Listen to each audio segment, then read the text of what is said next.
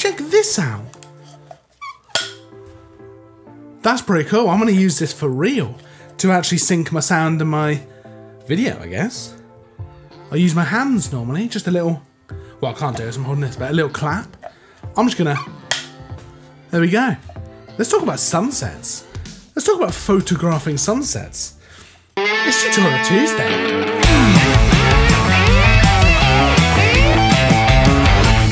Back to Tutorial Tuesday, where every week, every Tuesday, you get a brand new, fresh photography tutorial. Now, this week, we're going to be talking about photographing sunsets. So, different tips for doing that. I've got five tips for maximizing your sunset shoots. We're going to be focusing primarily on landscape photography during sunset, but of course, if you like it, we can also do a part two where we talk about portrait photography during sunset because that can look awesome as well. I think natural light sunset portrait shoots. Ooh!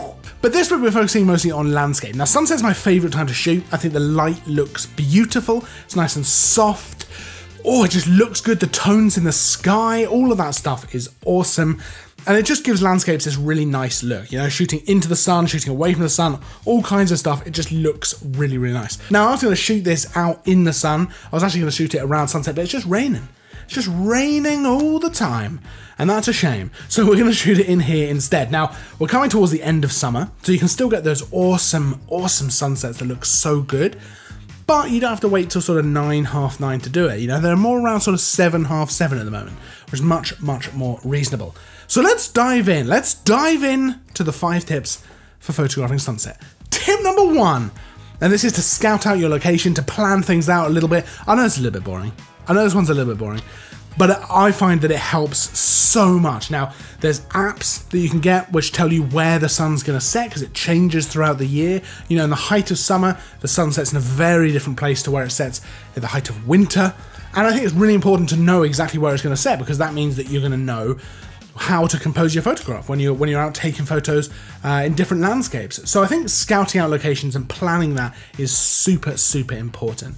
Now when I say scouting out locations as well, I have had a location in mind before, and then I've gone in basically blind. I've not scouted out at all beforehand, and I've realised once I'm there that actually there's a big hill that blocks the sun out way before sunset. And so it just doesn't look how I imagined it would look. So it's worth scouting things out like that, at least looking into, you know, are you gonna have any problems with the sun being blocked by some big hill, you know, or big building or something like that? Are you gonna be able to get the shot you wanna get? Is the sun gonna be setting in the right place? Stuff like that. And I think it's kind of worth looking around these landscapes in the day, you know, getting an idea of the kind of composition you might want to go for, checking out where the sun's going to be setting, and then sometimes it's a matter of luck, especially in the UK with clouds.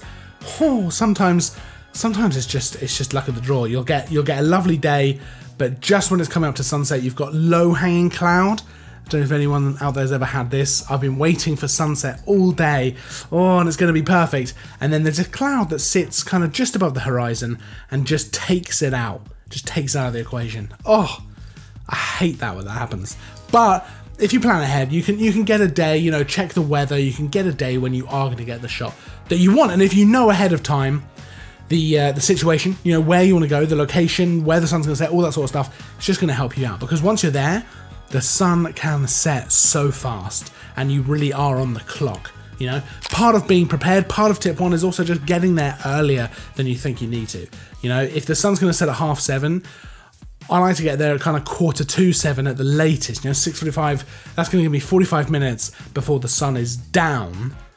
And I can get loads of good photos in that time. I can play around with composition, play around with settings, and all that kind of stuff. If I give myself an hour, I've got that whole golden hour to kind of play around and, and find a shot that I want to get. Whereas if I rock up, you know, 10, 15 minutes before the sun is going to set, which I have done, you know, I won't lie, I have done that. It's just, you're just putting a limit on yourself. You know, you're just you're just making it harder for yourself for no reason. So it's worth getting there. Ooh, nice and early. So tip number two is to play around with your settings. Now, there's lots to this. Now, I'll normally take a tripod and I'll normally set up so I can so I can have a bit more versatility with things like shutter speed and ISO and stuff like that. I like to play around with, with shutter speed as much as possible without having to boost that ISO too much because I want to keep it a nice clean image and having a tripod allows me to do that. It means I don't have to have to worry about camera shake. Now that said, I have been shooting a bit of handheld recently as well, and you can absolutely do that, especially with a lot of cameras now with uh, with very good image stabilization. So for example, the Sony a7 III, the Panasonic Lumix S1, these have such good image stabilization in the camera that even shooting really slow shutter speeds, it, it doesn't matter too much. You can definitely get you can definitely get really good shots even at slower shutter speeds. Now it's worth playing around with that exposure level quite a bit because you've got quite a contrasty situation. You've got a really bright sky with the sun, especially if you're shooting into the sun. You've got a really bright sky, you've got a darker foreground, you know, I like to keep my aperture pretty constant, so usually it'll be around f11 or f8, depending on what I'm going for, but usually be about f11, and then I'll just, I'll change the shutter speed, you know, until I get an exposure that I'm happy with. Now, a lot of the time, I'll actually bracket my sunset shots as well, because it just gives you more options later. Now, if you're not familiar with bracketing, we actually have a video out all about bracketing your exposure, but essentially it's taking multiple shots with different exposures and then blending them together later on the computer. And it's a really great way of managing to keep details in different areas because you can expose for the sky with a with a with a darker exposure, and then you can expose for the for the darker ground with a much brighter exposure, and then you can blend them together uh, and create a, a really well exposed shot. Now, of course, you can go over the top of this, you can get a crazy HDR looking thing. But if you do it properly, it can look really, really good. Something else that's going to help, and this is an absolute must, and I imagine most of us probably do it, but it's shooting in RAW. You know, especially if you're shooting something like this, shooting in RAW is going to allow you to, to really bring back a lot of those highlights, really boost those shadows if you want to. You've got so much more room to play around with things after the fact. Uh, and that goes for white balance as well. You know, it can be it can be easy to overlook that and just leave it on auto. I do it. You know, I, I leave it on auto a lot, but sometimes your camera will try and try and get rid of these crazy warm tones or things like that. Whereas if you if you have left an auto and you've shot in RAW, you can just go in and change things later. It doesn't really matter that much at all. But it is also worth sometimes maybe playing around with that white balance. You know, seeing what kinds of shots you can get. So just have a play with the exposures. And if you if you do tip one and you get there nice and early, you've got the time to play around with this stuff. You know, and it, it, you can come away with some really nice creative shots. Now, tip number three is to change up your perspectives. So a lot of the time I will shoot a nice wide landscape 24 mil, something like that. And it'll be into the sun. You know, I'll have the sun off to the one side and I'll have a nice landscape and it'll be nice and wide.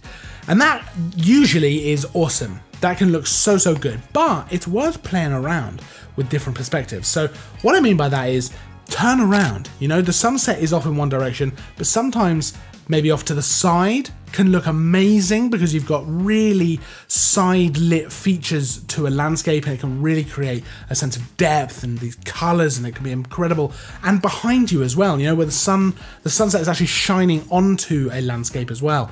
That can look so good and it's often really overlooked. You know sometimes when i go to spots where you know it's going to be great for sunset you'll see a lot of photographers set up a tripod and stuff pointing all towards the sun. And you know you turn around and there's amazing landscape there you know, no one's focusing on because the sun is off the other way. And it, yes, it's lovely to shoot into the sun, and it can look so cool. But also turn around, look at other bits of the of the landscape. That can look easily as good. Now, similarly, I often shoot wide. I'll usually go 24 mil, something like that. But sometimes you can focus in on one individual part of the landscape. Sometimes that can look really awesome. And you know, you can go 50 mil, 70 mil, 200 mil, anything, and just focus in on one particular part. Zooming in like that as well is going to give you incredible compression and make the sun look huge. So that's a really interesting way to be creative with your sunset shots and get some different stuff as opposed to just wide landscapes.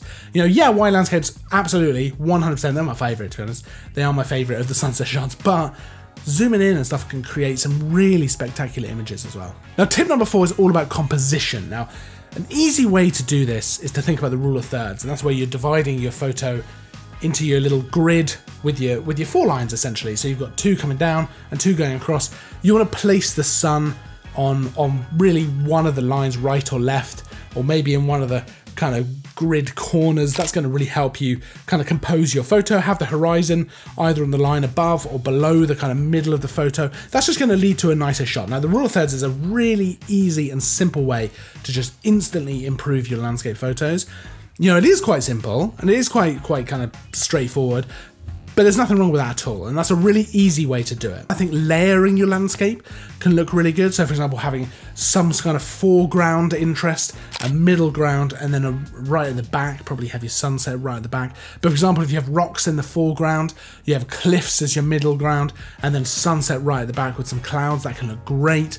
Uh, or perhaps it'll be sea at the front you know, and then and then some hills and stuff in the middle, and then right in the back you got sunset with cliffs and stuff like that. Layering your landscapes like that really, really helps with the composition. It gives visual interest throughout the photo. Leading lines, that's lines that kind of draw you in and through the photo. They are a massive deal as well. They can they can make a photo just stand out and pop and draw the viewer's eye in. So all of these things are worth thinking about. You know, it can be really easy to get overexcited about the sun and really focus in on that, but there's the sunset itself is really just accentuating whatever awesome landscape is there, and it's worth remembering that. The sunset itself isn't enough to make this a perfect photo. You know, you still have to compose the landscape in a creative way, you know, in a, in a, in a way that shows it off as best you can. And finally, tip number five is to add people to your photos. Now, this is going to create a visual interest, you know, something else other than just the landscape. You can add a sense of scale. You know, I always recommend this to people with landscape photography.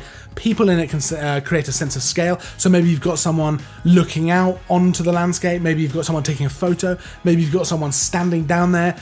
I don't know, anything like that, adding a person to it creates a sense of scale, a visual interest to the photo. It can kind of create this strange kind of feeling of like interaction where you've got someone there. It makes it more personal and kind of brings you into the photo in a different way. You know, it, it makes it less of just a oh lovely landscape and more of a personal lovely landscape. There's a person there. I think that adds so much to the photo in so many different ways that it's worth experimenting with. And if you've got enough time, again, tip number one, if you get there nice and early, you can play around. You have a lovely landscape, and then get someone to just sit on a rock looking out at it. You know, get someone to go and stand with a camera to take a photo of it. You know, in different positions and kind of switch things up a bit, you know. I've even taken photos at sunset with, and it's not of the sunset at all, just of someone taking a photo of the sunset, kind of photoception. And I've come out feeling happier about that photo than any of the sunset photos I got. So it's worth it's worth playing around with having someone in the frame. So there are five top tips for photographing the sunset. Of course, there's thousands of different things you can do, and photography is of course a subjective matter anyway. So I'd love to hear any tips you have. Pop them down in the comments below. I feel like I'm a little bit ahead of the game with my hand movements. You know, I'm pointing down there before I've even said comments down below. But pop down in the comments below any tips you might have for sunset photography. I'd love to hear them because it's my favorite it's my favourite thing to photograph. And, uh, you know, I could always use some tips as well. So, regardless of the fact that it would be cool to, to have them down there, I could always use the tips. So pop them down in the comments. I'd love to hear them. If you like the video, make sure to give it a thumbs up. That always helps us out. Make sure to subscribe as well for new tutorials, reviews. Whoo, Throwback Thursday. We've got all kinds of stuff going on. Worth subscribing, I reckon. It costs nothing, and yet you get so much. So I reckon 100% worth it. I'll see you in the next video. And as always, thanks for watching. I don't think there's any outtakes this week. You know, there's been a few videos lately where I've not had any. I've got to say, this has probably been the most efficient Tutorial Tuesday I've ever, ever filmed. I just basically, five minutes, wrote out what my tips would be, uh, very loosely, and I've come and I've sat down and I've just filmed it in one take, pretty much. You know, stumbled over a couple of words. But, yeah. Stars, no doubt, thanks. Nothing. Uh, thanks for watching, you know?